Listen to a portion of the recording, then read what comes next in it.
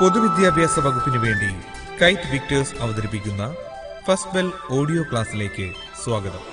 Plus two ക്ലാസ്സിലെ first bell പരിപാടിയുടെ തുടർച്ചയായി പരീക്ഷയ്ക്കായുള്ള ഫോക്കസ് ഏരിയ കേന്ദ്രീകരിച്ചാണ് ഇത് തയ്യാറാക്കിയിരിക്കുന്നത്. ക്ലാസ് കേൾക്കുമ്പോൾ പാഠപുസ്തകം കൂടി മുന്നിലുണ്ടാകുന്നത് ഗുണകരമായിരിക്കും. പ്രിയപ്പെട്ട വിദ്യാർത്ഥികളെ എന്റെ പേര് സുജു. ഞാൻ Palakkad G H S S big bazaar എന്ന സ്കൂളിലെ ബോട്ടണി അധ്യാപകനാണ്.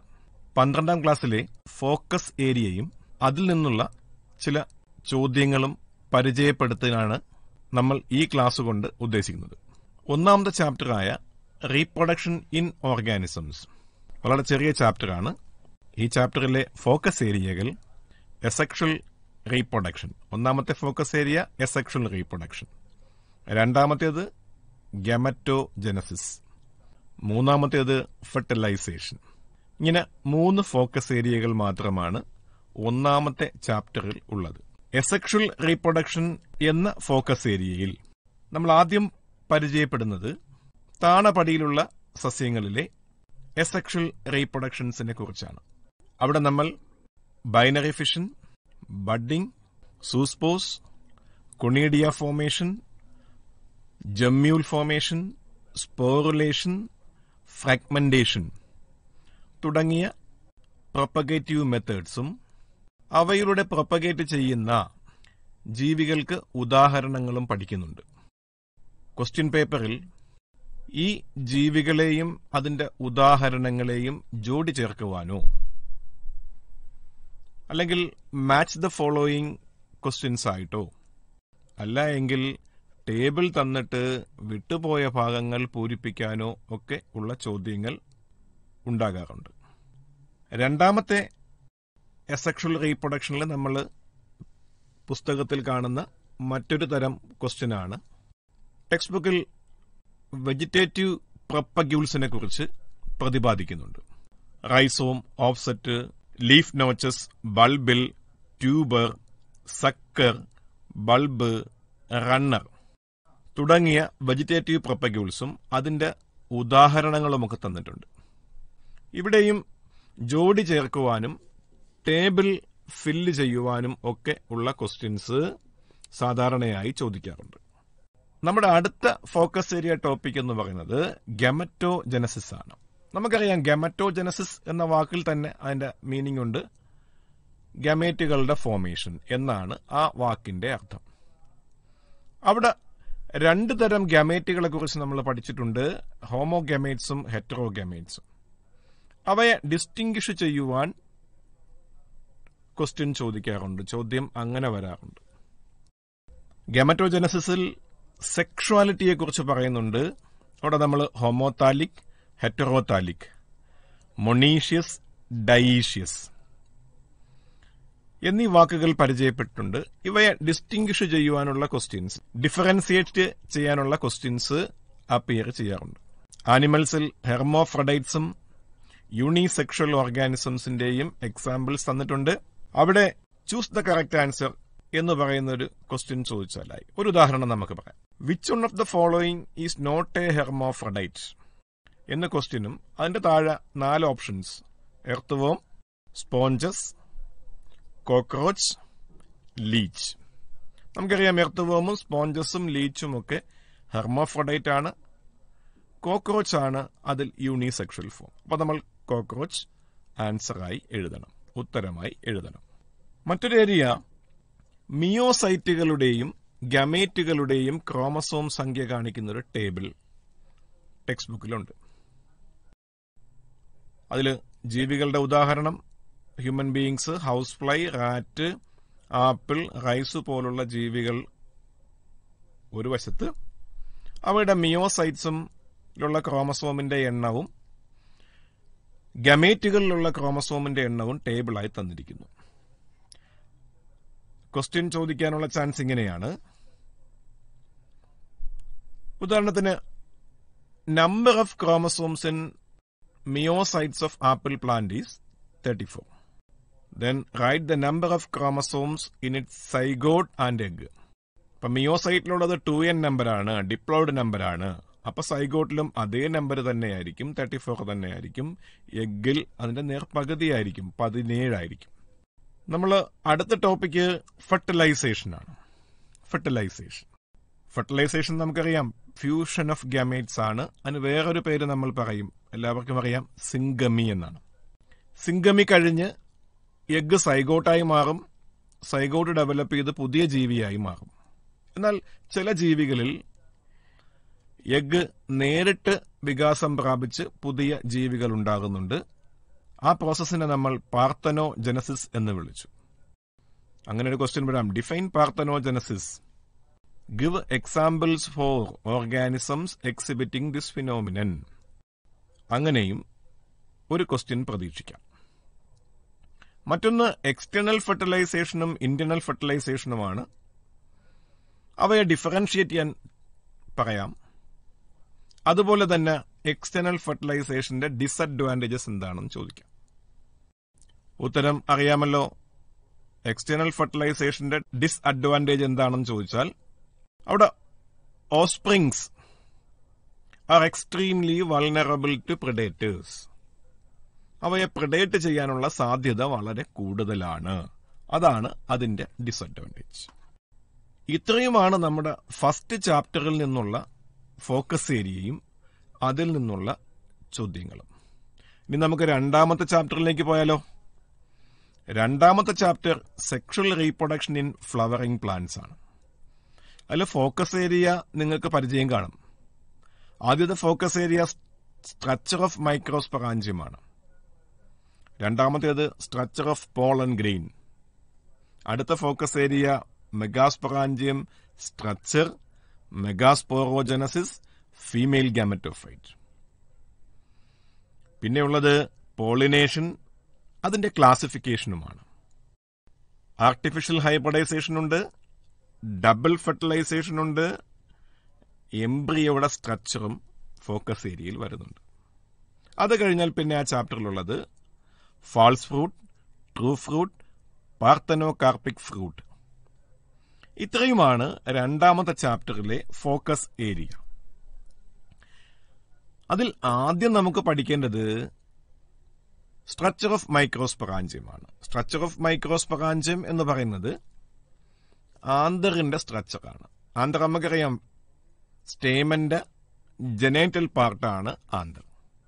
അതിന്റെ ക്രോസ് സെക്ഷനും അതിന്റെ പാഴ്സുമൊക്കെ ടെക്സ്റ്റ് ബുക്കിൽ ചിത്രങ്ങളായിട്ട് കൊടുത്തിട്ടുണ്ട്. അതിന്റെ സ്ട്രക്ചർ എക്സ്പ്ലെയിൻ ചെയ്യാൻ ഒരു ക്വസ്റ്റ്യൻ പരീക്ഷയ്ക്ക് ചോദിക്കാം. പിന്നെ മറ്റൊന്ന് നമ്മുടെ മൈക്രോസ്പൊറാഞ്ചിയത്തിന്റെ വാൾ ലെയേഴ്സ് ഏതൊക്കെയാണ്? Name the wall layers of microsporangium അപ്പോൾ നമ്മൾ എഴുതും epidermis endothecium middle layers and tapetum ഇതിൽ ന്യൂട്രിറ്റീവ് ഫംഗ്ഷൻ ചെയ്യുന്ന വാൾ ലെയർ ഏതാണ്? അപ്പൊ നമ്മൾ എഴുതും ടപ്പീറ്റമാണ്. ബാക്കിയുള്ള എപ്പിഡാമിസും എൻഡോത്തീസിയവും മിഡിൽ ലെയേഴ്സും ഒക്കെ പ്രൊട്ടക്റ്റീവ് ഫംഗ്ഷനുള്ള വാൾ ലെയേഴ്സ് ആണ്.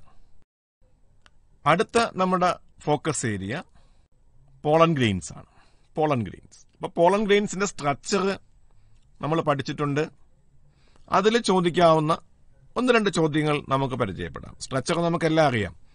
പുറത്ത് വാളുണ്ട് രണ്ട് ലെയർ ഉണ്ട് എക്സൈൻ ഇൻഡെയിൻ എക്സൈന്റെ ഇൻഡെയിന്റെ പ്രത്യേകതകളൊക്കെ നമ്മൾ പഠിച്ചു. അതിനകത്ത് രണ്ട് സെൽസ് കാണും ഒരു വലിയ വെജിറ്റേറ്റീവ് സെല്ലും ഒരു ചെറിയ ജനറേറ്റീവ് സെല്ലും അപ്പോൾ അതിന്ന് വരുന്ന ചോദ്യങ്ങൾ ഒന്ന് ഡിസ്റ്റിങ്വിഷ് ബിറ്റ്വീൻ എക്സൈൻ ആൻഡ് ഇൻഡെയിനും എക്സൈനും ഇൻഡെയിനും തമ്മിലുള്ള വ്യത്യാസം എന്താണ്? മറ്റൊന്ന് പെയർ ഫോർമേഷൻ ആണ്. എക്സൈൻ ഈസ് ടു ഡാഷ് അടുത്ത പെയർ ഫുൾ ഉണ്ട്. ഇൻഡൈൻ ഈസ് ടു സെല്ലുലോസ് അതായത് ഇൻഡെയിൻ ഉണ്ടാക്കിയിട്ടുള്ളത് സെല്ലുലോസ് കൊണ്ടാണ് എങ്കിൽ എക്സൈൻ എന്തുകൊണ്ടുണ്ടാക്കിയതാണ് നമ്മൾക്കറിയാം എക്സൈൻ ഉണ്ടാക്കിയിട്ടുള്ളത് സ്പോറോ പോളനിൻ എന്ന് പറയുന്ന ഒരു സബ്സ്റ്റൻസ് കൊണ്ടാണ്. അതിന്റെ പ്രത്യേകതയും നമുക്കറിയാം. സ്പോറോ പോളനിൻ ഇന്ന് നമ്മൾ അറിയപ്പെടുന്ന ഓർഗാനിക് സബ്സ്റ്റൻസിൽ ഏറ്റവും റെസിസ്റ്റന്റ് ആയിട്ടുള്ള ഒരു ഓർഗാനിക് സബ്സ്റ്റൻസ് ആണ് അതിന് സ്ട്രോങ് ആസിഡുകളുടെയും എൻസൈമുകളുടെയും ഒക്കെ ആക്ഷന് റെസിസ്റ്റ് ചെയ്യാൻ കഴിവുണ്ട്. അതുകൊണ്ട് തന്നെ പുരാതന കാലത്തുള്ള പ്ലാന്റ്സ് ഫോസിലൈസ് ചെയ്തപ്പോൾ കൂടുതലായി നമുക്ക് കിട്ടിയത് അവയുടെ പോളൻ ഗ്രെയിൻസ് ആണ് കാരണം എഴുതുക അങ്ങനെയും ക്വസ്റ്റ്യൻ ചോദിക്കാം. അപ്പോൾ നമ്മൾ എഴുതും അവയുടെ ഏറ്റവും പുറമേയുള്ള ലെയറായ എക്സൈൻ ഉണ്ടാക്കിയിട്ടുള്ളത് പോറോപോളനിൻ കൊണ്ടാണ്. അത് റെസിസ്റ്റന്റ് ആണ്. എന്തിനൊക്കെ? സ്ട്രോങ് ആസിഡുകൾക്കും എൻസൈമുകളുടെയൊക്കെ ആക്ഷനെ റെസിസ്റ്റ് ചെയ്യാൻ അതിന് കഴിയുന്നു. അതുകൊണ്ടാണ് പോളൻ ഗ്രെയിൻസ് കൂടുതലായി ഫോസിലൈസ് ചെയ്യപ്പെട്ടിട്ടുള്ളത്. വ്യക്തമല്ലേ? അപ്പോ അടുത്തൊരു ചോദ്യം ഇതാണ്. Over sixty percentage of angiosperms അതായത് ഏകദേശം അറുപത് ശതമാനത്തിൽ കൂടുതൽ ആൻജിയോസ്പേമുകളിലും പോളൻ ഗ്രെയിൻസ് ഷെഡ് ചെയ്യപ്പെടുന്നത്. രണ്ട് സെല്ലുള്ള കണ്ടീഷനിലാണ് നെയിം ദീസ് സെൽസ് ഈ സെല്ലുകളുടെ പേരെഴുതുക. നമുക്കറിയാം ഒന്ന് വെജിറ്റേറ്റീവ് സെല്ലും മറ്റൊന്ന് ജനറേറ്റീവ് സെല്ലുമാണ് അത്രയുമാണ് നമ്മുടെ ഫസ്റ്റ് ഫോക്കസ് ഏരിയ ടോപ്പിക് ഇപ്പോൾ നിങ്ങൾ കേട്ടുകൊണ്ടിരിക്കുന്നത് കൈറ്റ് വിക്ടേഴ്സ് തയ്യാറാക്കിയ ഫസ്റ്റ് ബെൽ ഫോക്കസ് ഏരിയയെ അധികരിച്ചുള്ള ഓഡിയോ ക്ലാസ് രണ്ടാമത്തെ നമുക്കറിയാം മെഗാസ്പൊറാഞ്ചിയമാണ് മെഗാസ്പൊറാഞ്ചിയം അഥവാ ഓവ്യൂൾ അതിന്റെ സ്ട്രക്ചർ നമ്മൾ പഠിക്കുന്നുണ്ട്. അതിന്റെ സ്ട്രക്ചർ പഠിക്കുമ്പോൾ നമ്മൾ അതിന്റെ പല ഭാഗങ്ങൾ പഠിക്കുന്നുണ്ട്. അതിൽ മൈക്രോപൈൽ എന്താണ്? ഹൈലം എന്താണ്? ചലാസ എന്താണ്? അതൊക്കെ അറിഞ്ഞിരിക്കുക. അപ്പൊ അവിടെ ചോദ്യങ്ങൾ അങ്ങനെ ചോദിക്കാം. മൂന്ന് മാർക്കിന്റെ ചോദ്യം ചോദിക്കാം. Briefly explain the structure of megasporangium അതിൽ വരെ വന്ന മറ്റൊരു question expand M M C അപ്പൊ എന്താ എം എം സി മെഗാസ്പോറോജനസിസ് നടക്കുമ്പോൾ ന്യൂസെല്ലസിലെ ഒരു കോശം മെഗാസ്പോർ മദർ സെല്ലായിട്ട് ആക്ട് ചെയ്യുന്നു. അതിനെയാണ് നമ്മൾ എം എം സി എന്ന് അബ്രീവിയേറ്റ് ചെയ്തത്. അപ്പോൾ എം എം സിയുടെ ഫുൾ ഫോം മെഗാസ്പോർ മദർ സെല്ലാണ്. അടുത്തൊരു ചോദ്യം ഇതാണ്. ഡെവലപ്മെന്റ് ഓഫ് ഫീമെയിൽ ഗാമറ്റോഫൈറ്റ് നമ്മൾ പഠിച്ചു. അവിടെ നമ്മൾ അവസാനം കണ്ടു a typical angiosperm embryo sac is eight nucleated and seven celled. അപ്പൊ സാധാരണ ആൻജിയോസ്പോമുകളിൽ കാണുന്ന ഒരു എംബ്രിയോസാക്ക് എട്ട് ന്യൂക്ലിയസ് ഉള്ള ഏഴ് കോശങ്ങളുള്ള ഒരു സ്ട്രക്ചറാണ്. അപ്പൊ അതിനൊന്ന് എക്സ്പ്ലെയിൻ ചെയ്യാൻ പറയാം. അപ്പൊ നമ്മൾ ആ സ്ട്രക്ചർ ഒന്ന് എക്സ്പ്ലെയിൻ ചെയ്യണം. അല്ല എങ്കിൽ ആ കോശങ്ങളുടെ പേരും ആ ന്യൂക്ലിയസുകളുടെ പേരും നെയിം ചെയ്യുക എഴുതുക എന്ന് പറയാം. അറിയാമല്ലോ ആ കോശങ്ങളുടെ പേരും ന്യൂക്ലിയസിന്റെ പേരും ഒന്ന് ഓർത്തു വയ്ക്കുക കോശം ഒന്ന് സെൻട്രൽ സെല്ലാണ് മറ്റൊന്ന് എഗ്ഗാണ് ഒരു എഗ്ഗ് ഒരു സെൻട്രൽ സെല്ല്. രണ്ട് സൈനർജിഡുകളുണ്ട് മൂന്ന് ആന്റിപോഡൽസ് ഉണ്ട്. ഏഴായല്ലോ? ഇനി എളുപ്പമാണ്. എഗ്ഗിൽ ഒരു ന്യൂക്ലിയസ്. സെൻട്രൽ സെല്ല് രണ്ട് പോളാർ ന്യൂക്ലിയസ്. പെത്രയായി മൂന്നായി. ഇനി ആന്റി സെല്ല് മൂന്ന് അപ്പോൾ ആറായി. പിന്നെ സൈനർജിഡുകളിൽ രണ്ട് അപ്പോൾ എട്ടായി. ഇതാണ് നമ്മൾ ആൻസറായി എഴുതേണ്ടത്. അടുത്ത പോളിനേഷൻ ആണ് നമ്മുടെ ഫോക്കസ് ഏരിയ. പോളിനേഷൻ എന്താണ് എന്ന് നമുക്കെല്ലാം അറിയാം. അവിടെ ചോദിക്കാനുള്ള ചാൻസ് ആട്ടോഗമി ഗൈറ്റനോഗമി സീനോഗമി പഠിക്കുന്നുണ്ട് നമ്മൾ. അത് ക്ലാസിഫിക്കേഷൻ ആണ്. സോഴ്സ് ഓഫ് പോളനെ ബേസ് ചെയ്തുള്ള ക്ലാസിഫിക്കേഷൻ ആണ്. അതിൽ ഗൈറ്റനോഗമി ഫിസിയോളജിക്കലി ക്രോസ് പോളിനേഷൻ ആണ്. ജനറ്റിക്കലി സെൽഫ് പോളിനേഷൻ ആണ്. എന്തുകൊണ്ട്? അതൊരു ചോദ്യമാണ്. മറ്റൊരു ചോദ്യം distinguish between chasmogamous and cleistogamous flowers നമുക്കറിയാം. കാസ്മോഗാമസ് എന്ന് പറയുമ്പോൾ സ്റ്റേമനെയും കാർപ്പലിനെയും എക്സ്പോസ് ചെയ്യുന്ന ഫ്ലവേഴ്സും ക്ലിസ്റ്റോഗാമസ് ഫ്ലവേഴ്സ് ക്ലോസ്ഡ് ഫ്ലവേഴ്സ് ആണ് അവരൊരിക്കലും സ്റ്റേമനെയും കാർപ്പലെയും എക്സ്പോസ് ചെയ്യുന്നില്ല. അപ്പോൾ അവിടെ സെൽഫ് പോളിനേഷനെ നടക്കൂ. അടുത്ത ഏരിയ പോളിനേഷൻ ഏജൻസ് ഓഫ് പോളിനേറ്റേഴ്സിനെ ബേസ് ചെയ്തുകൊണ്ടുള്ള ക്ലാസിഫിക്കേഷനാണ്. അവിടെ നമുക്ക് വിൻഡ് പോളിനേറ്റ് ചെയ്യുന്ന ഫ്ലവേഴ്സിന്റെയും ഇൻസെക്ട് പോളിനേറ്റ് ചെയ്യുന്ന ഫ്ലവേഴ്സിന്റെയും വാട്ടർ പോളിനേറ്റ് ചെയ്യുന്ന ഫ്ലവേഴ്സിന്റെയും ക്യാരക്ടേഴ്സ് പഠിക്കാനുണ്ട്. അപ്പോൾ അവയുടെ ക്യാരക്ടേഴ്സ് ലിസ്റ്റ് ചെയ്യുവാൻ എഴുതുവാൻ ചോദ്യങ്ങൾ പ്രതീക്ഷിക്കാം. അതുപോലെ തന്നെ വാട്ടർ പോളിനേറ്റ് ചെയ്യുന്ന ഫ്ലവേഴ്സിന് ഉദാഹരണങ്ങൾ. വിൻഡ് പോളിനേറ്റ് ചെയ്യുന്ന ഫ്ലവേഴ്സിന് ഉദാഹരണങ്ങൾ. അതുപോലെ ഇൻസെക്ട് പോളിനേറ്റ് ചെയ്യുന്ന ഫ്ലവേഴ്സിന്റെയും ഉദാഹരണങ്ങൾ ചോദിച്ചുകൊണ്ടുള്ള ചോദ്യങ്ങൾ ഒരു മാർക്കിനൊക്കെ പ്രതീക്ഷിക്കാവുന്നതാണ്. അടുത്ത ഏരിയ ആർട്ടിഫിഷ്യൽ ഹൈബ്രിഡൈസേഷൻ ആണ്. Artificial hybridisation. അതിൽ ഇമാസ്കുലേഷൻ ബാഗിംഗ് എന്നീ രണ്ട് പ്രോസസ്സുകൾ നമ്മൾ പഠിക്കുന്നുണ്ട്. എന്താണ് ഇമാസ്കുലേഷൻ ബാഗിംഗ് എന്നീ പ്രോസസ്സുകൾ അവയുടെ ഉദ്ദേശം പർപ്പസ് എന്താണ്? അങ്ങനെയും ചോദ്യങ്ങൾ പ്രതീക്ഷിക്കാം. അടുത്ത ഫോക്കസ് ഏരിയ ടോപ്പിക് എന്ന് പറയുന്നത് ഡബിൾ ഫെർട്ടിലൈസേഷൻ ആണ്.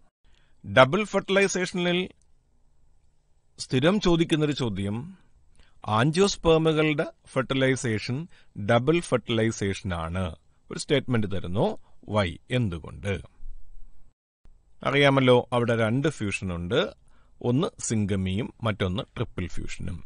അതെന്താണെന്ന് എഴുതി കഴിയുമ്പോൾ അതിന്റെ ഉത്തരമായി മൂന്ന് മാർക്കായിരിക്കും.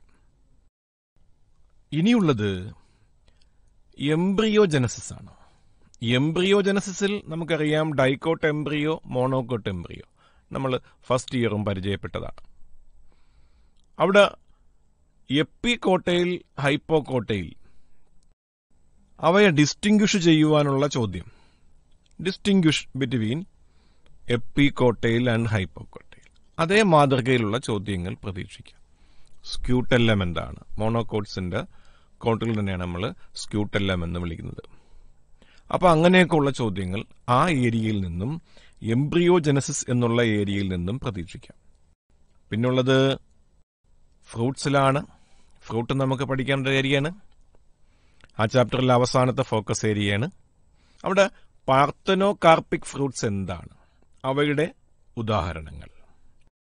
മറ്റൊന്ന് ആപ്പിൾ ഫ്രൂട്ട്. നമുക്കറിയാം ആപ്പിൾ ഒരു ഫാൾസ് ഫ്രൂട്ടാണ്. എന്തുകൊണ്ട്? ആപ്പിളിൽ ഫ്രൂട്ട് ഉണ്ടായിരിക്കുന്നത് തലാമസിൽ നിന്നുമാണ്.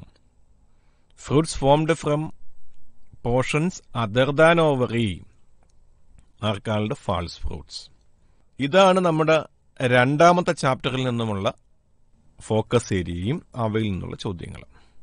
നമുക്ക് മൂന്നാമത്തെ ചാപ്റ്ററിലേക്ക് പോകാം.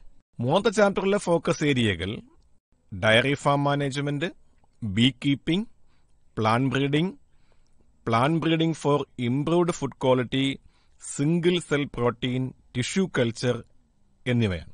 ഇതിൽ ഡയറി ഫാം മാനേജ്മെന്റ് എന്ന് പറയുന്ന ടോപ്പിക്കിൽ നിന്നും ഡയറി ഫാം മാനേജ്മെന്റിൽ നമ്മൾ ശ്രദ്ധിക്കേണ്ട കാര്യങ്ങൾ പോയിന്റ്സ് എന്തൊക്കെയാണ്? നമ്മൾ ടെക്സ്റ്റ് ബുക്കിൽ വിശദമായിട്ട് പറയുന്നുണ്ട്. ഒരു മൂന്ന് പോയിന്റെങ്കിലും ഓർത്തു വയ്ക്കുക. നാല് പോയിന്റ് ഓർത്താൽ വളരെ നന്ന്. അടുത്ത ടോപ്പിക്ക് ബീ കീപ്പിംഗ് ആണ്. ബീ കീപ്പിങ്ങിൽ നമ്മൾ ശ്രദ്ധിക്കേണ്ട ഒരു ചോദ്യം ഇതാണ്. നമുക്ക് ബീ കീപ്പിംഗിൽ എപ്പിക്കൾച്ചറിൽ നമ്മൾ ഗ്രോ ചെയ്യുന്ന ഓർഗാനിസത്തിന്റെ ശാസ്ത്രനാമം എഴുതുക. ആപ്പിസ് ഇൻഡിക്കയാണ് പിന്നെ ബീ കീപ്പിംഗിൽ നമുക്ക് കിട്ടുന്ന പ്രോഡക്ട്സ് ഏതൊക്കെയാണ്? അത് ഹണി ബീയും ബീ വാക്സുമാണ് അവയുടെ ഉപയോഗം അവയുടെ പ്രാധാന്യം എഴുതാൻ പറയും. മറ്റൊന്ന് ബീ കീപ്പിംഗ് നടത്തുമ്പോൾ നമ്മൾ ശ്രദ്ധിക്കേണ്ട കാര്യങ്ങൾ.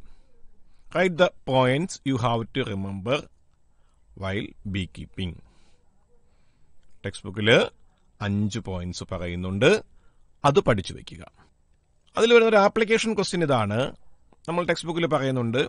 സൺഫ്ലവർ ബ്രാസിക്ക ആപ്പിൾ പീർ തുടങ്ങിയ സസ്യങ്ങളിൽ അവ വളരുന്ന തോട്ടത്തിൽ ബീ കീപ്പിംഗ് നടത്തിയാൽ ബീ ഹൈവ്സ് വെച്ചാൽ അവയുടെ ക്രോപ്പ് ഈൽഡ് കൂടുന്നു. എന്തുകൊണ്ട്? നമുക്കറിയാം. അങ്ങനെ നമ്മൾ ഹണി ബീസിനെ അവിടെ കീപ്പ് ചെയ്താൽ അവിടെ പോളിനേഷൻ എഫിഷ്യൻസി കൂടും.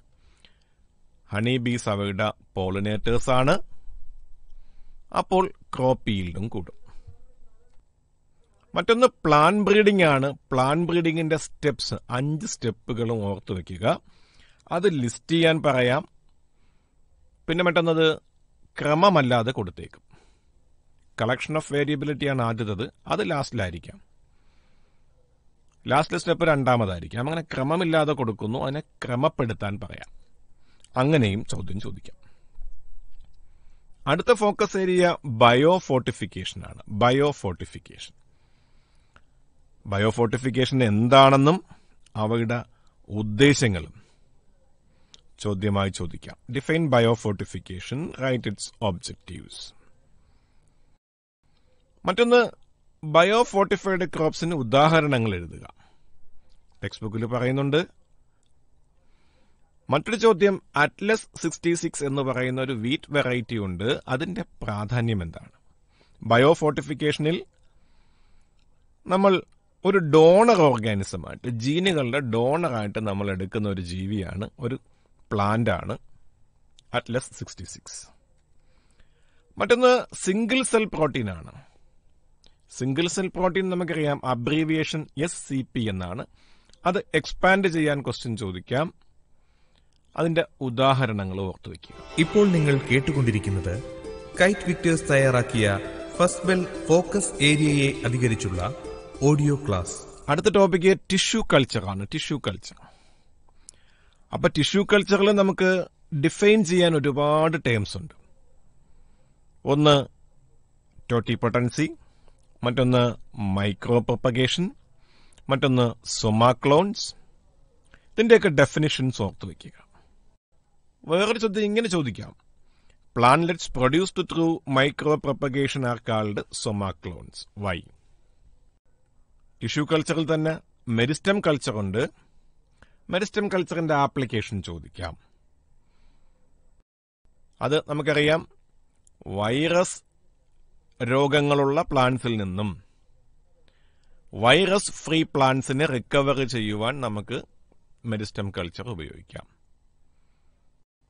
ആക്സിലറി മെരിസ്റ്റമോ ലാറ്ററൽ മെരിസ്റ്റമോ കൾച്ചർ ചെയ്താൽ ഈ മെരിസ്റ്റമാറ്റിക് സെൽസിൽ വാസ്കുലാർ സപ്ലൈ എത്താത്തതുകൊണ്ട് അത് വൈറസ് ഫ്രീ ആയിരിക്കും. അവയെ കൾച്ചർ ചെയ്താൽ നമുക്ക് വൈറസ് ഫ്രീ പ്ലാന്റ്സ് കിട്ടും. വ്യക്തമാണല്ലോ?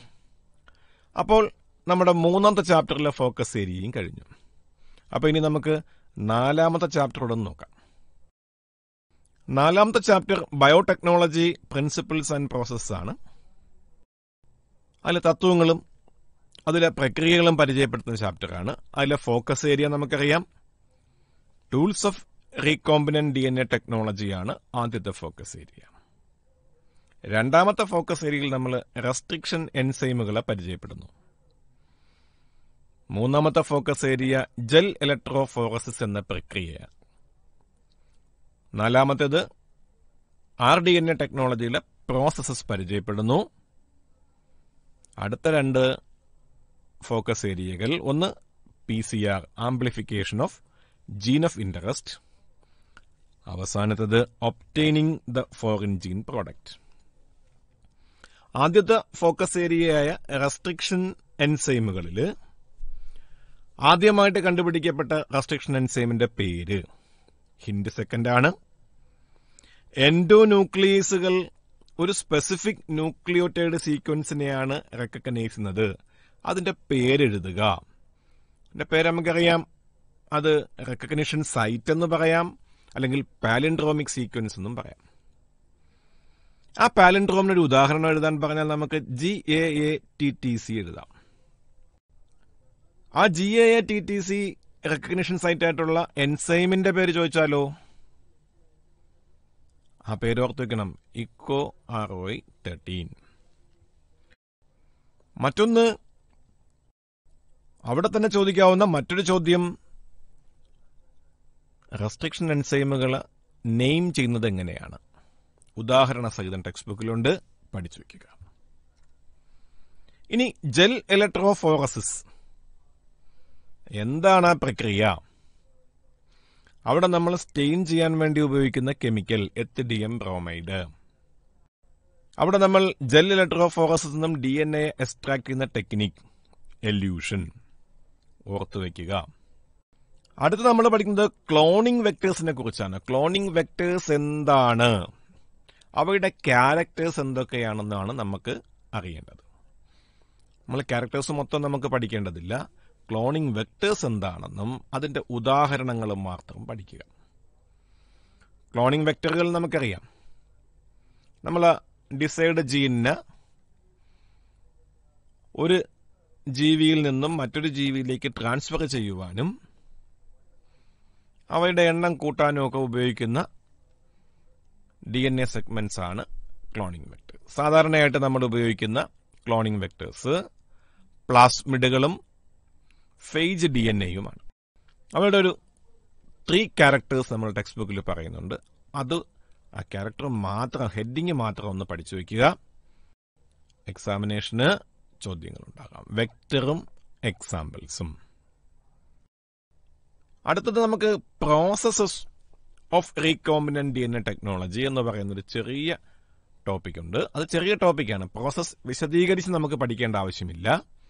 പ്രോസസ്സുകളുടെ പേര് മാത്രം പഠിക്കുക. Isolation of D N A fragmentation of D N A by restriction endonucleases isolation of desired of D N A fragment ligation into the vector into of the transferring D N A into the host, culturing of the host cell in a medium at a large scale, and extraction of the desired product ഇതാണ് ആ process അതിന്റെ പേര് മാത്രം അതാണ് ഞാൻ വായിച്ചത്. പേര് മാത്രം ഓർത്തു വയ്ക്കുക അടുത്തത് പി സി ആണ്. വളരെ ഇമ്പോർട്ടന്റ് ആണ്.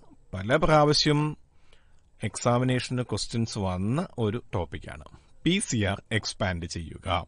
പോളിമറൈസ് ചെയിൻ റിയാക്ഷൻ അതിന്റെ മൂന്ന് സ്റ്റെപ്പുകൾ ഓർത്തു വയ്ക്കുക denaturation annealing and extension of the primer ഇനി പി സി ആറിൽ നമ്മളൊരു എൻസൈമിനെ ഉപയോഗിക്കുന്നുണ്ട്. അതിന്റെ പേര് ഓർത്തു വയ്ക്കുക name the enzyme used in P C R write its peculiarity അതിന്റെ പെക്യൂലിയാരിറ്റി നമുക്കറിയാം. ഉയർന്ന ഊഷ്മാവിലും അതിന് ഡിനാച്ചുറേഷൻ സംഭവിക്കാതെ പ്രവർത്തിക്കാൻ സാധിക്കുന്നു. ഇനിയുള്ളത് ഒപ്റ്റനിങ് ദ ഫോറിൻ ജീൻ പ്രോഡക്റ്റിൽ എന്താണ് റീകോമിനന്റ് പ്രോട്ടീൻ ബയോറിയാക്ടറുകൾ എന്താണ്?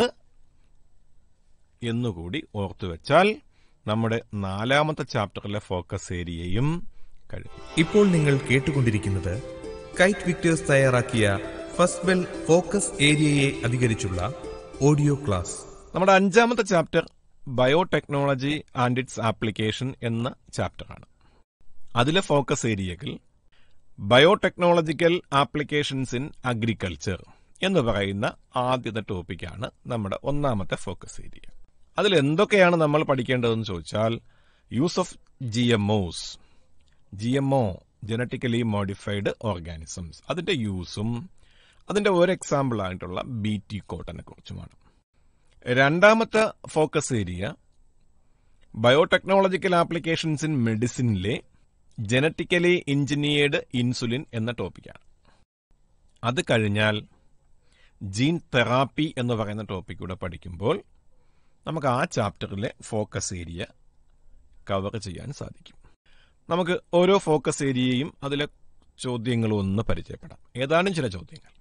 ഒന്നാമത് നമുക്ക് അതിൽ പറയുന്നുണ്ട് നമ്മൾ അഗ്രികൾച്ചറിന്റെ ആപ്ലിക്കേഷനിൽ ആദ്യം പറയുന്ന ടോപ്പിക്ക് ഫുഡ് പ്രൊഡക്ഷൻ ഇൻക്രീസ് ചെയ്യാൻ വേണ്ടി നമുക്ക് സ്വീകരിക്കാവുന്ന മൂന്ന് മാർഗങ്ങൾ. മൂന്ന് മാർഗങ്ങളും അവിടെ ലിസ്റ്റ് ചെയ്തിട്ടുണ്ട്. ഒന്ന് അഗ്രോ കെമിക്കൽ ബേസ്ഡ് അഗ്രികൾച്ചർ ആണ്. രണ്ട് ഓർഗാനിക് അഗ്രികൾച്ചർ ആണ്. മൂന്ന് genetically engineered crop based agriculture ആണ്. അപ്പൊ അങ്ങനെ ഒരു ഡയറക്റ്റ് ക്വസ്റ്റ്യൻ ചോദിച്ചാൽ തീർച്ചയായിട്ടും ഈ മൂന്ന് ഓപ്ഷൻസും ലിസ്റ്റ് ചെയ്യുമ്പോൾ നമുക്ക് അതിന്റെ ഫുൾ സ്കോർ കിട്ടും. ജി എം ഒസും ജി എം ഒസിന്റെ യൂസസും. അപ്പോ അതിൽ വരാവുന്ന ക്വസ്റ്റ്യൻ ഒന്ന് expand G M O G M O expand ചെയ്യുക ജനറ്റിക്കലി മോഡിഫൈഡ് ഓർഗാനിസം പിന്നെ ജി എം ഒസിന്റെ യൂസസ് ഒരു question G M plants have been useful in many ways list three uses of G M plants ഏകദേശം അഞ്ച് uses text ബുക്കിൽ നമ്മൾ പരിചയപ്പെടുന്നുണ്ട്. അതിൽ നിന്നും മൂന്ന് യൂസസ് എഴുതുക. ഇനി ജി എം ഒസിന് എക്സാമ്പിൾ ആയിട്ട് ബി ടി ക്രോപ്സിനെ കുറിച്ച് പറയുന്നുണ്ട്. ഒരു ചോദ്യം അവിടെ നിന്ന് ചോദിക്കാം. ബി ടി ക്രോപ്സിൽ ബി ടി ഒന്ന് എക്സ്പാൻഡ് ചെയ്യുക. നമുക്കറിയാം ബി ടി എന്ന് പറയുന്നത് ബെസല്ലസ് തുറിഞ്ചിയൻസിസ് എന്ന ബാക്ടീരിയയുടെ ജീനസ് നെയിമിന്റെയും സ്പീഷീസ് നെയിമിന്റെയും ആദ്യ അക്ഷരങ്ങളാണ് ബിയും ടിയും ഇനി അതിന് കണക്ട് ചെയ്ത് ഒരു ചോദ്യം കൂടെ ചോദിക്കാം. ബി ടി ക്രോപ്സിന് മറ്റുദാഹരണങ്ങൾ. ബി ടി കോട്ടൺ നമുക്കറിയാവുന്ന ഉദാഹരണമാണ്. അതല്ലാതെ ചില ഉദാഹരണങ്ങൾ എഴുതുക. നമ്മൾ ബി ടി കോണിനെ കുറിച്ച് പറയുന്നുണ്ട്. B T rice tomato potato സോയാബീനിന്റെ എക്സാമ്പിളൊക്കെ ടെക്സ്റ്റ് ബുക്കിലുണ്ട് ഓർത്തു വയ്ക്കുക. ഇനി മറ്റൊന്ന്. നമ്മൾ പറഞ്ഞു ബി ടി എന്ന് പറയുന്നത് ബസിലസ് തുറിഞ്ചിയൻസിസ് ആണ്. ഈ ബാക്ടീരിയയിൽ ക്രൈ ജീനുകളുണ്ട് അവ ബി ടി ടോക്സിൻ സെക്രീറ്റ് ചെയ്യുന്നു. ഈ ബി ടി ടോക്സിൻ സെക്രീറ്റ് ചെയ്യുന്ന ബാക്ടീരിയയെ നശിപ്പിക്കുന്നില്ല. എന്നാൽ അതിന് ഇൻസെക്റ്റുകളുടെ ഡെത്തിന് മരണത്തിന് കാരണമാകാൻ കഴിയുന്നു. ഒരു സെന്റൻസ് ആയിരിക്കും അതിനെ സാധൂകരിക്കാൻ സബ്സ്റ്റാൻഷിയേറ്റ് ചെയ്യാൻ പറയും. അപ്പോൾ നമ്മൾ പറയേണ്ടത് ഇതാണ്. ബി ടി ടോക്സിൻസ് ഇനാക്റ്റീവ് ഫോമിലാണ് സെക്രീറ്റ് ചെയ്യപ്പെടുന്നത്. അത് പ്രോടോക്സിൻസ് ആണ് അത് ഇൻസെക്റ്റിന്റെ ഗട്ടിൽ ആൽക്കലൈൻ പി എച്ചിലെത്തുമ്പോഴാണ് ആക്റ്റീവ് ആകുന്നത്. ഇപ്പൊ ഇൻസെക്റ്റിന്റെ ബോഡിയിൽ വരുമ്പോൾ ആക്റ്റീവ് ആകുന്നു ഇൻസെക്റ്റിനെ നശിപ്പിക്കുന്നു. വ്യക്തമാണല്ലോ? അടുത്ത ക്വസ്റ്റ്യൻ അവിടം തന്നെയാണ്. ബി ടി ടോക്സിൻ സെക്രീറ്റ് ചെയ്യുന്ന ജീനുകളെ നമ്മൾ പരിചയപ്പെട്ടു. ക്രൈ ജീനുകൾ. ക്രൈ ഫസ്റ്റ് എ സി ഉണ്ട് സെക്കൻഡ് എ ബി ഉണ്ട് ഫസ്റ്റ് എ ബി ഉണ്ട്. നമ്മൾ പഠിച്ചു ക്രൈ ഫസ്റ്റ് എ സിയും സെക്കൻഡ് എ ബിയും കോട്ടൺ ബോൾ വോംസിനെ കൺട്രോൾ ചെയ്യുവാനും cry first A B corn ബോററെ control ചെയ്യുവാനും ഉപയോഗിക്കാം. നമ്മളോട് ചോദിക്കാണ് how can we generate a cotton plant resistant to corn borer insects സിമ്പിളാണ്. ക്രൈ ഫസ്റ്റ് എ ബി ജീനിനെ കോട്ടൺ പ്ലാന്റിലേക്ക് കോട്ടന്റെ സെല്ലിലേക്ക് ട്രാൻസ്ഫർ ചെയ്തിട്ട് ആ സെല്ലിനെ വളർത്തി ഒരു പുതിയ കോട്ടൺ പ്ലാന്റ് ആക്കിയാൽ ആ കോട്ടൺ പ്ലാന്റിന് കോൺബോറർ ഇൻസെക്റ്റിനെ റെസിസ്റ്റ് ചെയ്യാൻ സാധിക്കും. അടുത്ത ടോപ്പിക്ക് നമുക്കറിയാം. ജനറ്റിക്കലി ഇൻസുലിൻ ആണ് അവിടെ വളരെ സിമ്പിൾ ടോപ്പിക്കാണ്. അവിടെ ചോദിക്കാവുന്ന ഒരു ചോദ്യം. We can't use insulin from other animals in diabetic patients നമ്മളവിടെ പഠിക്കുന്നുണ്ട്. സ്ലോട്ടേഡ് ആനിമൽസ് സ്ലോട്ടർ ചെയ്യപ്പെടുന്ന കശാപ്പ് ചെയ്യപ്പെടുന്ന കാറ്റൽസ് കന്നുകാലികളുടെയും പിഗിന്റെയും ഒക്കെ ഇൻസുലിൻ നമ്മൾ എക്സ്ട്രാക്ട് ചെയ്യുകയും അത് ആദ്യകാലങ്ങളിൽ നമ്മൾ ഡയബറ്റിക് പേഷ്യൻസിൽ ഉപയോഗിച്ചിരുന്നു. അതെന്തുകൊണ്ട് നമ്മൾ കണ്ടിന്യൂ ചെയ്തില്ല? അതിന് കാരണം ആനിമൽ സോഴ്സ് നിന്നുള്ള ഇൻസുലിൻ മനുഷ്യനിൽ നമ്മൾ ഉപയോഗിക്കുമ്പോൾ മനുഷ്യരിൽ അത് പലതരത്തിലുള്ള അലർജിക് റിയാക്ഷൻസിനും കാരണമാകുന്നു. അതുകൊണ്ട് നമുക്ക് മറ്റ് ആനിമൽസിൽ നിന്നുമുള്ള ഇൻസുലിൻ നമുക്ക് ഡയബറ്റിക് പേഷ്യൻസിൽ ഉപയോഗിക്കാൻ സാധിക്കുന്നില്ല. മറ്റൊരു ചോദ്യം പ്രോ ഇൻസുലിനും ആക്റ്റീവ് ഇൻസുലിനും മെച്ചുർ ഇൻസുലിനും തമ്മിലുള്ള ഡിഫറൻസ് എന്താണ്? മെച്ചുർ ഇൻസുലിനിൽ നമുക്കറിയാം രണ്ട് പോളിപെപ്റ്റൈഡ്സേ ഉള്ളൂ എയും ബിയും എന്നാൽ പ്രോ ഇൻസുലിൻ ഇനാക്റ്റീവ് ഫോമിൽ സെക്രീറ്റ് ചെയ്യപ്പെടുന്ന പ്രോ ഇൻസുലിനിൽ മൂന്ന് പോളിപെപ്റ്റൈഡ്സ് ഉണ്ട് A B and C C remove ചെയ്യുമ്പോഴാണ് അത് മെച്ചുർ ഇൻസുലിനായി മാറുന്നത്. അവിടെ നിന്ന് വരാവുന്ന മറ്റൊരു ചോദ്യം. ഹ്യൂമൻ ഇൻസുലിൻ നോൺ ഹ്യൂമൻ സോഴ്സിൽ നിന്നും ബാക്ടീരിയയിൽ നിന്നും സെക്രീറ്റ് ചെയ്തത് എല്ലി ലില്ലി ആൻഡ് കമ്പനി എന്ന് പറയുന്ന ഒരു അമേരിക്കൻ കമ്പനിയാണ്. അത് എങ്ങനെയാണ് അവർ പ്രൊഡ്യൂസ് ചെയ്തത്? അതിന്റെ സ്റ്റെപ്സ് ഒരു മൂന്ന് സെന്റൻസിൽ നമ്മൾ ഡിസ്ക്രൈബ് ചെയ്താൽ നമുക്ക് മൂന്ന് മാർക്ക് കിട്ടും. ഇനി അതിൽ വരുന്ന അടുത്ത ടോപ്പിക്ക് ജീൻ തെറാപ്പിയാണ് ജീൻ തെറാപ്പിയിൽ നമ്മൾ കണ്ടു ഡിഫക്റ്റീവായ ജീൻസിന് പകരം നോർമൽ ജീനുകൾ ട്രാൻസ്ഫർ ചെയ്തുകൊണ്ട് ജനിതക രോഗങ്ങളെ പെർമനന്റ് ആയിട്ട് ക്യൂർ ചെയ്യുന്ന ഒരു ടെക്നിക്കാണ് ജീൻ തെറാപ്പി ഒരു എക്സാമ്പിൾ നമുക്ക് പറയുന്നുണ്ട്. എ ഡി എ ഡെഫിഷ്യൻസി വന്ന ഒരു നാല് വയസ്സുള്ള കുട്ടിയെ ട്രീറ്റ് ചെയ്തതാണ് gene therapy first clinical gene therapy എന്ന് പറയുന്നുണ്ട്. അവിടെ നമുക്ക് ചോദിക്കാം expand A D A A D എയുടെ എക്സ്പാൻഷൻ എഴുതുക. അത് അഡിനോസിൻ ഡി അമൈനേസ് എന്ന് പറയുന്ന ഒരു എൻസൈമാണ് അഡിനോസിൻ ഡി അമൈനേസ് അതിന്റെ കൂടെ തന്നെ ക്വസ്റ്റ്യൻ ചോദിക്കാം. Suggest any two strategies for the treatment of A D A deficiency നാല് സ്ട്രാറ്റജീസ് അവിടെ പറയുന്നുണ്ട്. അതിലേതെങ്കിലും രണ്ട് സ്ട്രാറ്റജി മെൻഷൻ ചെയ്യുക. ഫുൾ സ്കോർ വാങ്ങാം. ഇനി മറ്റൊരു ചോദ്യം അവിടെ ചോദിക്കാം. A D A deficiency is a genetic disease affecting the immune system of our body how can we cure it permanently using R D N A technology നമുക്കറിയാലോ നമ്മൾ പഠിച്ചു. രോഗമുണ്ട് എന്ന് സംശയിക്കപ്പെടുന്ന വ്യക്തി എംബ്രിയോണിക് സ്റ്റേജിലായിരിക്കുമ്പോൾ തന്നെ അവരുടെ സെല്ലുകളിലേക്ക് നമ്മൾ എന്ത് ചെയ്യും നോർമൽ ജീനുകളെ. അസുഖമില്ലാത്ത ഒരാളിന്റെ ബോൺ മാരോയിൽ നിന്നും എടുത്ത നോർമൽ ജീനുകളെ ട്രാൻസ്ഫർ ചെയ്താൽ നമുക്ക് ഈ രോഗം പെർമനന്റ് ആയിട്ട് ക്യൂർ ചെയ്യാം. അപ്പോൾ അത് എഴുതിയാൽ നമുക്ക് ഫുൾ സ്കോർ കിട്ടും. വ്യക്തമാണല്ലോ? ഇപ്പോൾ നിങ്ങൾ കേട്ടുകൊണ്ടിരിക്കുന്നത് കൈറ്റ് വിക്ടേഴ്സ് തയ്യാറാക്കിയ ഫസ്റ്റ് ബെൽ ഫോക്കസ് ഏരിയയെ അധികരിച്ചുള്ള ഓഡിയോ ക്ലാസ്. ഇനി നമുക്ക് അടുത്ത ചാപ്റ്ററിലേക്ക് പോയാലോ. ഓർഗാനിസംസ് ആൻഡ് പോപ്പുലേഷൻ എന്ന് പറയുന്ന ഇക്കോളജിയിലെ ആദ്യ ചാപ്റ്ററാണ്. അതിലെ ഫോക്കസ് ഏരിയകൾ ഒന്ന് പരിചയപ്പെടാം. ഒന്ന് നമുക്ക് അഡാപ്റ്റേഷൻസ് ആണ് പഠിക്കേണ്ടത്. ഡെസേർട്ടിലെയും പൊളാർ റീജിയനിലെയും ഹൈ ആൾട്ടിറ്റ്യൂഡ്സിലെയും. പിന്നെ നമുക്ക് പോപ്പുലേഷന്റെ ക്യാരക്ടേഴ്സ് പഠിക്കണം. പിന്നെ പോപ്പുലേഷൻ ഗ്രോത്തിനെ കുറിച്ച് പഠിക്കണം. പോപ്പുലേഷൻ ഇന്ററാക്ഷൻസ് ഓരോന്നിലേക്ക് നമുക്ക് പോകാം. അഡാപ്റ്റേഷൻസിൽ നമുക്ക് ഡെസേർട്ടിലെ അഡാപ്റ്റേഷൻസിനെ കുറിച്ച് പ്രതിപാദിക്കുന്നുണ്ട്. കങ്കാരു റാറ്റിലെയും ഡെസേർട്ട് പ്ലാന്റ്സിലെയും അവയുടെ അഡാപ്റ്റേഷൻസ് പഠിച്ചു വയ്ക്കുക ചോദ്യം ചോദിക്കാം. എങ്ങനെയാണ് കങ്കാരു റാറ്റ് ഡെസേർട്ടിലെ കണ്ടീഷൻസുമായിട്ട് പൊരുത്തപ്പെട്ടു പോകുന്നത്? അപ്പോൾ നമ്മൾ എഴുതേണ്ടത് കങ്കാരു റാറ്റിലെ രണ്ട് അഡാപ്റ്റേഷൻസ് ആണ്. ഇനി ഡെസേർട്ട് പ്ലാന്റ്സിൽ കാണുന്ന അഡാപ്റ്റേഷൻസ് അതിലപ്പോ മോർഫോളജിക്കൽ അഡാപ്റ്റേഷൻസ് എഴുതാൻ പറയാം ഫിസിയോളജിക്കൽ അഡാപ്റ്റേഷൻ എഴുതാൻ പറയാം. സി എ എം ഒരു ഫിസിയോളജിക്കൽ അഡാപ്റ്റേഷൻ ആണ് അതിൽ കാണുന്ന. അനാട്ടമിക്കലുമാകാം സങ്കൻസ്റ്റൊമാറ്റ ഒരു അനാട്ടമിക്കൽ അഡാപ്റ്റേഷൻ ആണ്. അടുത്തത് പോളാർ റീജിയനിൽ കാണുന്ന മാമൽസിലെ അഡാപ്റ്റേഷൻ ആണ്. നമ്മൾ അവിടെ പഠിക്കുന്നുണ്ട് അലൻസ് റൂൾ. പോളാർ റീജിയനിൽ കാണുന്ന മാമൽസിന്റെ ലിംസും ഇയേഴ്സും ഒക്കെ ഷോർട്ടാണ് ടു റെഡ്യൂസ് ഹീറ്റ് ലോസ്.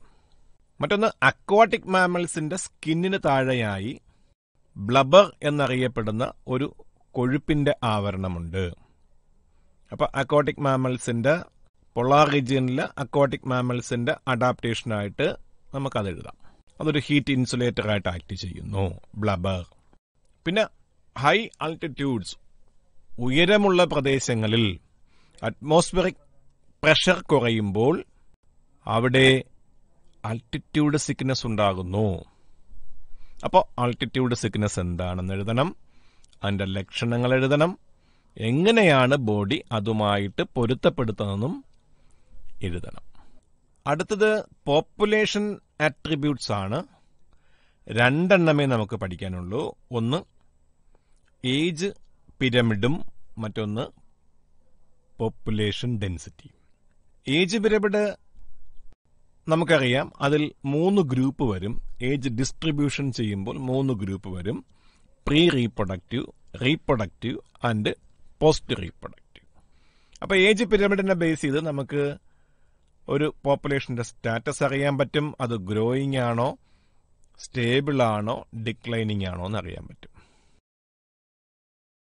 അപ്പോ എക്സ്പാൻഡിങ് ആണെങ്കിൽ അതിൽ പ്രീ റീപ്രൊഡക്റ്റീവ് റീപ്രൊഡക്റ്റീവ് ഗ്രൂപ്പുകളിലെ ആളുടെ എണ്ണം കൂടുതലും പോസ്റ്റ് റീപ്രൊഡക്റ്റീവിൽ ഇൻഡിവിജ്വൽസിന്റെ എണ്ണം കുറവുമായിരിക്കും. സ്റ്റേബിളിൽ ഏകദേശമൊക്കെ ഒരുപോലെ ആയിരിക്കും. ഡിക്ലൈനിങ് പോപ്പുലേഷൻ ആണ് എങ്കിൽ പോസ്റ്റ് റീപ്രൊഡക്റ്റീവിലെ ആൾ കൂടുതൽ റീപ്രൊഡക്റ്റീവിലും പ്രീയിലേക്കും വരുമ്പോൾ ഇൻഡിവിജ്വൽസിന്റെ എണ്ണം കുറയുന്നു. അടുത്തത് പോപ്പുലേഷൻ ഡെൻസിറ്റിയാണ് ഡെൻസിറ്റിയിൽ നമ്മൾ നോക്കിയാൽ നമുക്ക് പോപ്പുലേഷൻ ഡെൻസിറ്റിയെ പോപ്പുലേഷൻ സൈസിനെ അഫക്റ്റ് ചെയ്യുന്ന നാല് പ്രോസസ്സുകൾ ഏവ natality mortality immigration emigration clear ആണല്ലോ? അവ എങ്ങനെ പോപ്പുലേഷൻ സൈസിനെ അഫക്റ്റ് ചെയ്യുന്നു? നമുക്കറിയാം നേറ്റാലിറ്റിയും ഇമിഗ്രേഷനും പോപ്പുലേഷൻ സൈസ് ഇൻക്രീസ് ചെയ്യുമ്പോൾ മോർട്ടാലിറ്റിയും ഇമിഗ്രേഷനും പോപ്പുലേഷൻ സൈസിനെ കുറയ്ക്കുന്നു. ഇങ്ങനൊരു ഗ്രോത്ത് ഇക്വേഷനും പറയുന്നുണ്ട്. ഒരു പോപ്പുലേഷന്റെ സൈസ് ഇപ്പോൾ ഇപ്പോഴത്തെ സമയം ടി എന്നെടുത്താൽ ടി എൻ ടി ആണ് എങ്കിൽ ഇപ്പോഴത്തെ പോപ്പുലേഷന്റെ സൈസ് എൻ ടി ആണ് എങ്കിൽ ടി പ്ലസ് വൺ ടൈം കഴിയുമ്പോൾ ഒരു ഡെഫിനറ്റ് പീരീഡ് ആണ് നമ്മൾ പറയുന്നത്. ടി പ്ലസ് വൺ അതിന്റെ പോപ്പുലേഷൻ കണ്ടുപിടിക്കണമെങ്കിൽ ഒരു ഇക്വേഷൻ നമുക്ക് ടെക്സ്റ്റ് ബുക്കിൽ തന്നിട്ടുണ്ട് N T plus one T plus എന്ന് പറഞ്ഞപ്പോൾ ഒരു വർഷം കഴിഞ്ഞുള്ളതാകാം പത്ത് വർഷം കഴിഞ്ഞുള്ളതാകാം. ആ എൻ ടി പ്ലസ് വൺ എന്ന് പറയുന്ന സൈസ് കണ്ടുപിടിക്കാൻ എൻ ടിയുടെ കൂടെ B plus I minus D plus E add ചെയ്യുമ്പോൾ നമുക്ക് എൻ ടി പ്ലസ് വൺ കിട്ടും. അപ്പോൾ ആ ഇക്വേഷൻ അതുപോലെ എഴുതണം. Growth equation N T plus one equals N T plus B plus I minus D plus E B എന്താണെന്ന് അറിയാലോ അത് നാറ്റാലിറ്റിയാണ് ഐ ഇമിഗ്രേഷനാണ് ഡി മോർട്ടാലിറ്റിയാണ് ഇ എമിഗ്രേഷനാണ് അടുത്ത് നമുക്ക് നോക്കാനുള്ളത് പോപ്പുലേഷൻ ഇന്ററാക്ഷൻസിനെ കുറിച്ചാണ്. അവിടെ നമുക്ക് മൂന്ന് ഇന്ററാക്ഷനെ കുറിച്ചേ പഠിക്കാനുള്ളൂ. ഒന്ന് പാരസൈറ്റിസം മറ്റൊന്ന് കമൻസലിസം മറ്റൊന്ന് മ്യൂച്വലിസം അപ്പോൾ ഓരോ ഇന്ററാക്ഷനും അവയെക്കുറിച്ചുള്ള ഡിസ്ക്രിപ്ഷനും ഓർത്തു വയ്ക്കുക എന്തുകൊണ്ട് പാരസൈറ്റിസം പാരസൈറ്റിസം എന്ന് പറയുമ്പോൾ ഒരു സ്പീഷീസിന് ബെനിഫിറ്റും മറ്റ് സ്പീഷീസിന് ഡെട്രിമെന്റൽ എഫക്റ്റുമാണ് കമൻസലിസം ഒരാൾക്ക് ബെനിഫിറ്റ് മറ്റേയാൾക്ക് ബെനിഫിറ്റുമില്ല ഹാമുമില്ല. Mutualism both are benefited examples ഒക്കെ നമ്മൾ പഠിച്ചു. എക്സാമ്പിൾ തരും. ഉദാഹരണം ഓർക്കിഡ് പ്ലാന്റും മാംഗോയും തമ്മിലുള്ള ഇന്ററാക്ഷൻ നമുക്കറിയാം ഓർക്കിഡ് അവിടെ ബെനിഫിറ്റ് ചെയ്യപ്പെടുന്നു. മാംഗോയ്ക്ക് ബെനിഫിറ്റുമില്ല ഹാമുമില്ല. അതുകൊണ്ട് അത് കമൻസലിസമാണ് അപ്പോൾ ഓരോ ഇന്ററാക്ഷനിലെയും എക്സാമ്പിൾസ് പഠിച്ചു വെക്കുക. ആ എക്സാമ്പിൾ സൈറ്റ് ചെയ്തിട്ട് അവ തമ്മിലുള്ള ഇന്ററാക്ഷൻ എന്താണ് എന്തുകൊണ്ട് എന്ന് ചോദ്യം ചോദിക്കും. അപ്പൊ പാരസൈറ്റിസം നമ്മളുടെ എക്സാമ്പിൾ ഓർത്തു വെച്ചു. എക്സാമ്പിൾ എല്ലാം ഓർത്തു വയ്ക്കുക അപ്പോൾ നമ്മൾ എഴുതിയാൽ അതിൽ പാരസൈറ്റിന്റെ ബെനിഫിറ്റും ഹോസ്റ്റിന് ഹാമും ആണെന്ന് എഴുതി കഴിഞ്ഞാൽ നമ്മുടെ ഉത്തരം ശരിയായി. വളരെ എളുപ്പമാണ്. അപ്പോൾ അത്രയും ആയപ്പോൾ നമ്മുടെ ആ ചാപ്റ്ററിലെ ഫോക്കസ് ഏരിയ കംപ്ലീറ്റ് ആയി. നമ്മുടെ അടുത്ത ചാപ്റ്റർ ഇക്കോസിസ്റ്റമാണ്. അതിലെ ഫോക്കസ് ഏരിയകൾ നിങ്ങൾക്കറിയാം. നമുക്ക് ഓരോന്നോരോന്നായി പരിചയപ്പെടാം. ഒന്ന് പ്രൊഡക്ടിവിറ്റിയാണ് അതിൽ നമ്മൾ ജി പി പിയും എൻ പി പിയും പരിചയപ്പെട്ടു. അവിടെ എക്സ്പാൻഡ് ജി പി പി അല്ലെങ്കിൽ എക്സ്പാൻഡ് എൻ പി പി എന്നുള്ള ചോദ്യം ചോദിക്കാം. എക്സ്പാൻഷൻ അതുപോലെ തന്നെ എക്സ്പാൻഡ് ജി പി പി എന്ന് ചോദിച്ചിട്ട് how is it different from N P P എന്ന് ചോദിച്ചാൽ നമ്മൾ ഡിക്കേഷൻ അവിടെ കണ്ടു. G P P minus R is equal to N P P എന്നെഴുതിയാൽ അവർ തമ്മിലുള്ള റിലേഷനായി ഇനി പ്രൊഡക്ടിവിറ്റി പ്രൈമറി പ്രൊഡക്ടിവിറ്റിയും സെക്കൻഡറി പ്രൊഡക്ടിവിറ്റിയും ഉണ്ട്. പ്രൈമറി പ്രൊഡക്ടിവിറ്റിയെ അഫക്റ്റ് ചെയ്യുന്ന ഫാക്ടേഴ്സ് ഉണ്ട്. അപ്പോൾ അത് ടെക്സ്റ്റ് ബുക്കിൽ കൃത്യമായിട്ട് പറയുന്നുണ്ട്. Availability of nutrients photosynthetic capacity of plants അത് എൻവയോൺമെന്റൽ ഫാക്ടേഴ്സ് ആണ്. അപ്പൊ അതിന് ആ ഫാക്ടേഴ്സിന്റെ പേര് ചോദിച്ചാൽ അങ്ങനെയും ചോദ്യം ചോദിക്കാം. നെക്സ്റ്റ് ഡീകമ്പോസിഷൻ ആണ്. അടുത്ത focus area ഡീകമ്പോസിഷനിൽ define decomposition define detritus define humification എന്നൊക്കെയുള്ള ചോദ്യങ്ങൾ ചോദിക്കാം. മറ്റൊന്ന് ഡീകമ്പോസിഷനിലെ മെയിൻ സ്റ്റെപ്പുകൾ. നമുക്കറിയാം ഒന്ന് ഫ്രാഗ്മെന്റേഷൻ ലീച്ചിങ് കറ്റബോളിസം. അവയുടെ പേരെഴുതുക അവ എക്സ്പ്ലെയിൻ ചെയ്യുക. ഒരു ക്വസ്റ്റ്യനായി മാറാം. പിന്നെ ഡീകമ്പോസിഷനെ റെഗുലേറ്റ് ചെയ്യുന്ന ഫാക്ടേഴ്സിനെ കുറിച്ച് പറയുന്നുണ്ട്. അതിൽ ക്ലൈമാറ്റിക് ഫാക്ടേഴ്സ് ഏതൊക്കെയാണ്? അവ എങ്ങനെയാണ് ഡീകമ്പോസിഷനെ അഫക്റ്റ് ചെയ്യുന്നത്? ഓർത്തു വയ്ക്കുക അടുത്ത നമുക്ക് പഠിക്കാനുള്ളത് ഫുഡ് ചെയിനുകളെ കുറിച്ചാണ്. അതിൽ നമ്മൾ ഗ്രേസിംഗ് ഫുഡ് ചെയിനെ കുറിച്ചും ഡെട്രിറ്റസ് ഫുഡ് ചെയിനെ കുറിച്ചും പഠിക്കുന്നുണ്ട്. G F C and D F C അത് എക്സ്പാൻഡ് ചെയ്യാനുള്ള ചോദ്യം ചോദിക്കാം.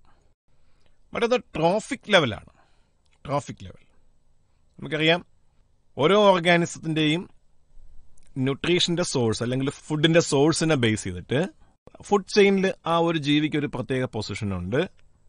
ഒരു സ്പെസിഫിക് പ്ലേസ് ഉണ്ട്. അതിനെയാണ് നമ്മൾ ട്രോഫിക് ലെവൽ എന്ന് വിളിക്കുന്നത്. ആ ട്രോഫിക് ലെവലിനെ ഡിഫൈൻ ചെയ്യാൻ പറയാം. എന്നിട്ട് ജീവികളുടെ പേര് കൊടുത്തേക്കും. ഉദാഹരണം ഗ്രാസസ് ഗ്രാസസ് എപ്പോഴും പ്രൊഡ്യൂസേഴ്സ് ആണ്. അവർ ഫസ്റ്റ് ട്രോഫിക് ലെവലിലായിരിക്കും കൗ അവർ ഹെർബിവോസ് ആണ്. അവർ സെക്കൻഡ് ട്രോഫിക് ലെവലിലായിരിക്കും അപ്പോൾ അങ്ങനെ ട്രോഫിക് ലെവലുകൾ ഓർത്തു വയ്ക്കുക അടുത്ത സ്റ്റാൻഡിങ് ക്രോപ്പ് എന്ന് പറഞ്ഞൊരു ടേം പറയുന്നുണ്ട്. അതിന്റെ ഡെഫിനിഷനും പഠിച്ചു വെക്കുക. പിന്നുള്ളത് ഇക്കോളജിക്കൽ പിരമിഡുകളാണ്. മൂന്ന് തരം പിരമിഡുകളുണ്ട്. What are the different types of ecological pyramids pyramid of number pyramid of energy pyramid of biomass എല്ലാ പിരമിഡുകളും അപ്രൈറ്റ് ആയിരിക്കും. എന്നാൽ ചിലപ്പോൾ അതിനൊക്കെ എക്സെപ്ഷൻ വരാം. എപ്പോഴൊക്കെ? നമ്മൾ പഠിച്ചിട്ടുണ്ട്. ഒരു ട്രീ ഇൻസെക്റ്റ് ഫുഡ് ചെയിൻ എടുത്താൽ ട്രീയുടെ എണ്ണം കുറവും ഇൻസെക്റ്റിന്റെ എണ്ണം കൂടുതലും. അപ്പോൾ ആ പിരമിഡ് ഓഫ് നമ്പർ ഇൻവേർട്ടഡ് ആകുന്നു. ഓഷനിലെ ബയോമാസ് പിരമിഡ് ഇൻവേർട്ടഡ് ആകുന്നു. ടെക്സ്റ്റ് ബുക്കിൽ പ്രതിപാദിക്കുന്നുണ്ട്. ഓർത്തു വയ്ക്കുക ആ ചാപ്റ്ററിലെ അവസാനത്തെ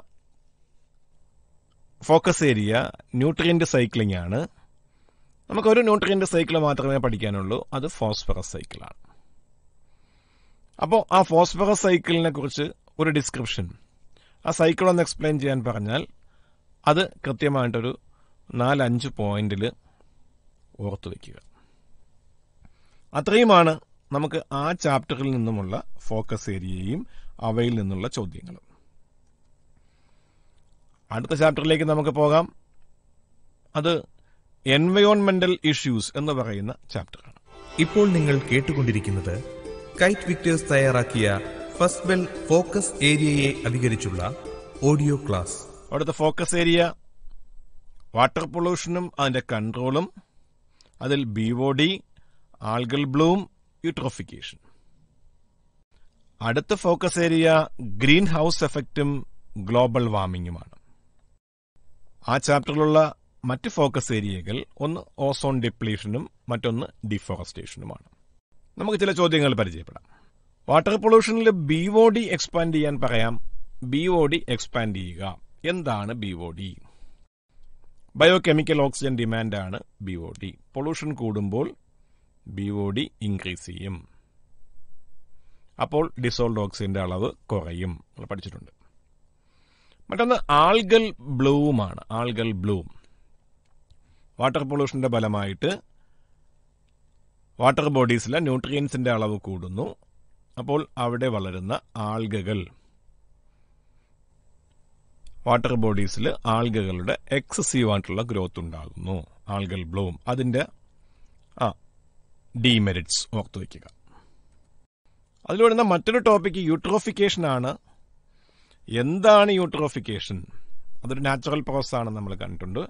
അത് വാട്ടർ പൊള്യൂഷനുമായിട്ടുള്ള ബന്ധം എന്ന് വെച്ച് കഴിഞ്ഞാൽ പൊള്യൂഷന്റെ ഫലമായിട്ട് യൂട്രോഫിക്കേഷൻ നടക്കുന്ന സമയം വളരെ കുറഞ്ഞു. യൂട്രോഫിക്കേഷന്റെ റേറ്റ് കൂടി. അത് വളരെ ഫാസ്റ്റർ ആയിട്ട് നടക്കുന്നു. അതിന് നമ്മൾ കൾച്ചറൽ അഥവാ ആക്സിലറേറ്റഡ് യൂട്രോഫിക്കേഷൻ എന്ന് വിളിക്കുന്നു. അതുകൂടെ ഓർത്ത് വയ്ക്കുക. അവിടെ ഒരു കേസ് സ്റ്റഡി പറയുന്നുണ്ട് വാട്ടർ പൊള്യൂഷനുമായിട്ട് ബന്ധപ്പെട്ട്. പൊള്യൂട്ടഡ് ആയിട്ടുള്ള വാട്ടറിനെ ഓർഗാനിസംസിനെയൊക്കെ ഉപയോഗിച്ച് പ്യൂരിഫൈ ചെയ്യുന്ന ഒരു integrated system of waste water management അമേരിക്കയിലെ കാലിഫോർണിയ എന്ന് പറയുന്ന സംസ്ഥാനത്ത് അർക്കാട്ട എന്ന് പറയുന്ന ടൗണിൽ ഡെവലപ്പ് ചെയ്ത ഒരു രീതിയാണ് നമ്മൾ പഠിച്ചു. Friends of the Arcata marsh അത് എക്സ്പാൻഡ് ചെയ്യാൻ ചോദിക്കാം. അവരുടെ ഇന്റഗ്രേറ്റഡ് സിസ്റ്റം ഓഫ് വാട്ടർ മാനേജ്മെന്റിലെ രണ്ട് ഫേസസ് ഏതൊക്കെയായിരുന്നു? അതും ചോദ്യമായി വരാം. അടുത്തത് ഗ്രീൻ ഹൗസ് എഫക്റ്റും ഗ്ലോബൽ വാർമിങ്ങുമാണ് അപ്പൊ എന്താണ് ഗ്രീൻ ഹൗസ് എഫക്റ്റ് ഏതൊക്കെയാണ് ഗ്രീൻ ഹൗസ് ഗ്യാസസ് എന്താണ് ഗ്ലോബൽ വാർമിംഗ് നമുക്കറിയാം ഗ്രീൻ ഹൗസ് ഗ്യാസുകളുടെ കോൺസെൻട്രേഷൻ കൂടുമ്പോൾ അറ്റ്മോസ്ഫിയറിക് ടെമ്പറേച്ചർ ഇൻക്രീസ് ചെയ്യുന്ന പ്രോസസ്സാണ് ഗ്ലോബൽ വാർമിംഗ് നമുക്ക് ഇതും അറിയാം ഗ്രീൻ ഹൗസ് ഗ്യാസുകളാണ് നമ്മുടെ അറ്റ്മോസ്ഫിയറിക് ടെമ്പറേച്ചർ ഒരു മോഡറേറ്റ് ലെവലിൽ മെയിന്റെയിൻ ചെയ്യുന്നത് കുറയാതെയും കൂടാതെയും. അപ്പോൾ ഗ്രീൻ ഹൗസ് ഗ്യാസുകളുടെ അളവ് കൂടുമ്പോൾ ടെമ്പറേച്ചർ കൂടുന്നു. കാരണം ഗ്രീൻ ഹൗസ് ഗ്യാസുകളാണ് സൂര്യതാപത്തെ അബ്സോർബ് ചെയ്ത് അറ്റ്മോസ്ഫിയറിനെ വാമാക്കി മെയിന്റെയിൻ ചെയ്യുന്നത്.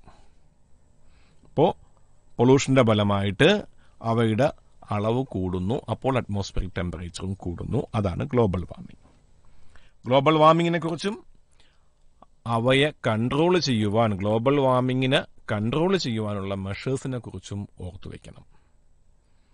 അടുത്ത ടോപ്പിക്ക് ഓസോൺ ഡെപ്ലീഷൻ ആണ്. ഓസോൺ ഡെപ്ലീഷൻ നമ്മുടെ ഓസോൺ പാളിയിൽ ഉണ്ടാകുന്ന നാശം. അപ്പോൾ ഓസോൺ പാളി എവിടെ കാണുന്നു? നമ്മുടെ ട്രോപ്പോസ്ഫിയറിന്റെ മുകളിൽ സ്ട്രാറ്റോസ്ഫിയറിൽ താഴെയായിട്ടാണ് ഓസോൺ പാളി കാണുന്നത്. തിക്നെസ് അളക്കുന്ന യൂണിറ്റ് ഡോപ്സൺ യൂണിറ്റ് ആണ് ഓസോൺ പാളിയിൽ ഡിപ്ലീഷൻ ഉണ്ടാക്കുന്ന സബ്സ്റ്റൻസുകൾ നമ്മൾ ഓസോൺ ഡിപ്ലീറ്റിംഗ് സബ്സ്റ്റൻസസ് എന്ന് വിളിക്കും. എക്സാമ്പിൾ ക്ലോറോ ഫ്ലോറോ കാർബൺസ് ആണ്. ഇപ്പൊ ക്ലോറോ ഫ്ലൂറോ കാർബൺസ് മുകളിലേക്ക് പോയിട്ട് അവയിൽ യു വി റേസ് പതിക്കുമ്പോൾ ക്ലോറിൻ റിലീസ് ചെയ്യും.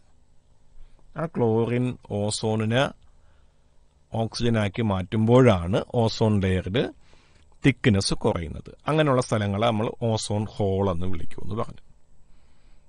അപ്പൊ ഈ പ്രോസസ് എല്ലാം ഓർത്തു വയ്ക്കണം ഓസോൺ ഡിപ്ലീറ്റിംഗ് സബ്സ്റ്റൻസിന് എക്സാമ്പിൾ ചോദിക്കാം. ഓസോൺ ലെയറിന്റെ തിക്നെസ് അളക്കുന്ന യൂണിറ്റ് ചോദിക്കാം. ഇനി ഓസോൺ ഹോളുകൾ ഉണ്ടായുള്ള പ്രശ്നം യു വി ബി റൈസ് നമ്മുടെ ട്രോപ്പോസ്ഫിയറിലേക്ക് വരും. അത് പ്ലാന്റ്സിലും ആനിമൽസിലും ഒക്കെ പലതരത്തിലുള്ള രോഗങ്ങൾക്ക് കാരണമാകും. അപ്പൊ യു വി ബി റൈസിന്റെ ആ എഫക്ട്സ് ട്രോപ്പോസ്ഫിയറിലേക്ക് എന്റർ ചെയ്താലുള്ള പ്രശ്നങ്ങൾ എന്തൊക്കെയാണ്? നമ്മൾ പഠിച്ചു. അത് കോർണിയയുടെ ഇൻഫ്ലമേഷന് കാരണമാകും. സ്നോ ബ്ലൈൻഡ്നസ് സ്കിൻ ക്യാൻസറിന് കാരണമാകും. കറ്ററാക്റ്റിന് കാരണമാകും. ഹൈ ഡോസിലാണ് എങ്കിൽ കാഴ്ച തന്നെ നഷ്ടപ്പെടാം. നമ്മുടെ കോർണിയയ്ക്ക് സ്ഥിരമായ ഡാമേജ് ഉണ്ടാകും. അതുവഴി കാഴ്ചയും നഷ്ടപ്പെടാം. ഓർത്തു വയ്ക്കുക. അപ്പോൾ ഓസോൺ ഡിപ്ലീഷൻ ഒരു സീരിയസ് ആയിട്ടുള്ള പ്രോബ്ലമാണെന്ന് മനസ്സിലാക്കുകയും അത് തടയുവാൻ വേണ്ടി കാനഡയിലെ മോൺട്രിയൽ എന്ന സ്ഥലത്ത് ഉണ്ടാക്കിയ ട്രീറ്റി നമുക്കറിയാം. Montreal protocol nineteen eighty seven. To reduce the emission of ozone depleting substances. ഓർത്തു വയ്ക്കുക. അടുത്തത് ഡീഫോറസ്റ്റേഷൻ ആണ് നമുക്കറിയാം ഡീഫോറസ്റ്റേഷൻ എന്താണെന്ന് വന നശീകരണം. എന്താണെന്ന് ഓർക്കുക? റീഫോറസ്റ്റേഷൻ നമ്മൾ നഷ്ടപ്പെട്ട ഫോറസ്റ്റുകൾ റീസ്റ്റോർ ചെയ്യുന്ന പ്രോസസ്സാണ് റീഫോറസ്റ്റേഷൻ അവിടെ നമ്മൾ സ്ലാഷ് ആൻഡ് ബേൺ അഗ്രികൾച്ചർ എന്താണെന്ന് പഠിക്കുക. പിന്നെ വൈൽഡ് ലൈഫ് കൺസർവേഷന് ചില അവാർഡുകളെ കുറിച്ച് മെൻഷൻ ചെയ്യുന്നുണ്ട്. Amrita Devi Bishnoi wildlife protection award ഓർക്കുക. ചില മൂവ്മെന്റ്സിനെ കുറിച്ച് പറയുന്നുണ്ട്. ചിപ്കോ മൂവ്മെന്റ്. പിന്നെ joint forest management J F M. അതിന്റെ എക്സ്പാൻഷൻ ഓർക്കുക. എന്താണെന്ന് ഓർക്കുക. അപ്പോൾ നമ്മൾ എട്ടാമത്തെ ചാപ്റ്ററിലെ ഫോക്കസ് ഏരിയയും അതിൽ വരാൻ സാധ്യതയുള്ള ചോദിക്കാൻ സാധ്യതയുള്ള ചോദ്യങ്ങളും നമ്മൾ പരിചയപ്പെട്ടു. അപ്പോൾ എല്ലാ പേർക്കും എട്ട് ചാപ്റ്ററിനെ കുറിച്ചും അതിലെ ചോദ്യങ്ങളെക്കുറിച്ചും ഫോക്കസ് ഏരിയകളെക്കുറിച്ചുമൊക്കെ നല്ലൊരു ആശയം ഉണ്ട്. കിട്ടിക്കാണും എന്ന് വിശ്വസിക്കുന്നു. നല്ലതുപോലെ തയ്യാറെടുക്കുക. പേടി കൂടാതെ പരീക്ഷയെ അഭിമുഖീകരിക്കുക. എല്ലാവർക്കും വിജയം ആശംസിക്കുന്നു. നന്ദി. ഇപ്പോൾ നിങ്ങൾ കേട്ടത് ഫോക്കസ് ഏരിയയെ അധികരിച്ചുള്ള കൈറ്റ് വിക്ടേഴ്സ് തയ്യാറാക്കിയ ഫസ്റ്റ് ബെൽ ഓഡിയോ ക്ലാസ്.